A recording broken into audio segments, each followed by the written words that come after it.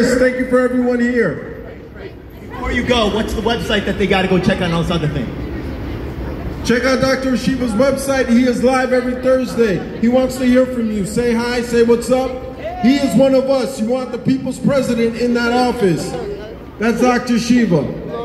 He loves he loves God and he loves people. That's what we need in the White House. Thank you for your time. Just so you know, folks, um, Dr. Shiva speaks a good game about the grassroots, but actually right here today, the grassroots is here with me. I'm talking about Jeremiah, I'm talking about Chris, I'm talking about Dion. We've been working with voter registrations for years, but I do appreciate him showing up once again. And once again, I want to say that people call the right wing intolerant. They're willing to listen to other messages today. You saw it for yourself.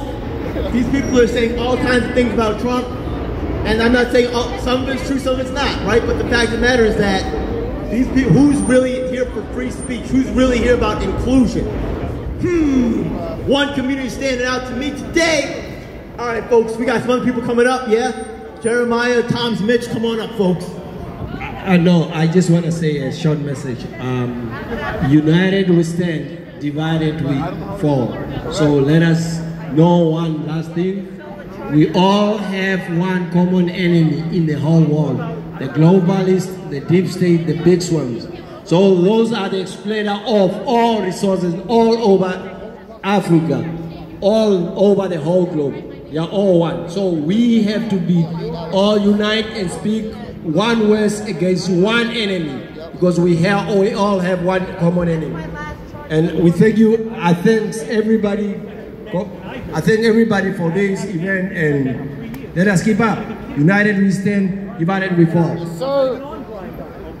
Ask anybody next. Yeah, Tom's, next up, Tom's Mitch once again, folks. Yeah, uh, term electoral work, right? Yeah. Look, Fatty, I, I think you're a cool guy, right? Yeah, but you got to start working with people like this, Tom's Mitch, people that are actually have voter database access.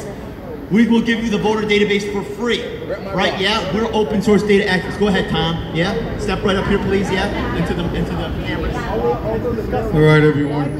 Uh, I spoke before, but I, one more thing I want to let you know, and uh, so this way everybody does understand. Remember, Lyndon Johnson, all right, after the assassination of Kennedy, which my family used to be Democrats, and they killed his ass, okay, because he stood for the people. Remember this, he wanted to abolish the Federal Reserve, he wanted to abolish the deep state, he wanted to abolish the CIA, and they killed him. Just like Trump wants to change things, well, guess what? Johnson came in, and what did he say? He said, we're going to have the black people voting Democrat for 200 years. We're going to separate the husband and wives and their families so that the women, be, the kids, will be dependent on the government. Okay, and they, they're pretty successful at it. They were pretty successful at it because right now there's a 70% rate of single black women in America.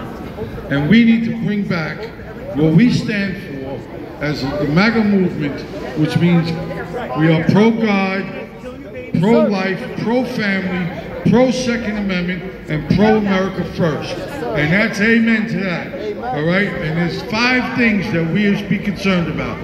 God, life, family, Second Amendment, because if without the Second Amendment, they're going to roll right over us like they're doing in Venezuela and all these other countries and Bangladesh and everything like that. Recently happenings this week, okay, this week, okay, because people do are not armed, and they will never take this country as long as we are armed. If you give up your weapons, you will be suppressed, you will be stomped on, you will be enslaved. The only thing that's keeping us away from this tyranny is our Second Amendment right.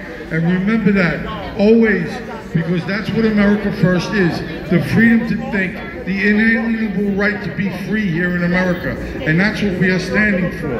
Because they have ostracized and they have exploited the criminal justice system. They've criminalized the political system. They've criminalized every damn system in this friggin' country, and we need to take that back. That's They criminalized the news!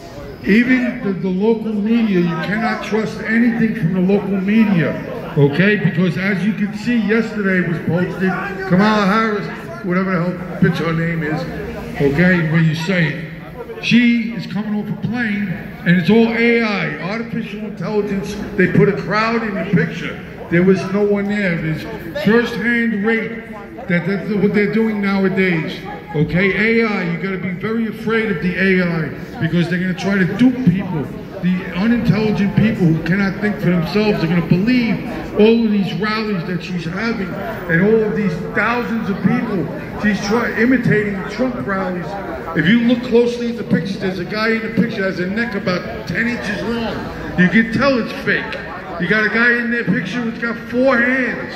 It's all fake. The news media is fake. They are bought and sold by the Democrat National Committee. Okay, if they don't do their bidding, they will. oh my God. Do not listen to the fake media. It is all fake. Please go online, do your own research, do your own research, and believe what we're telling you because it's all fake, and that's why I'm running for office because we're going to expose all of this. We're going to expose everything that's corrupt in this country. We are not afraid. We will stand and fight for our country and your rights because they don't care about you. Thank you very much. When I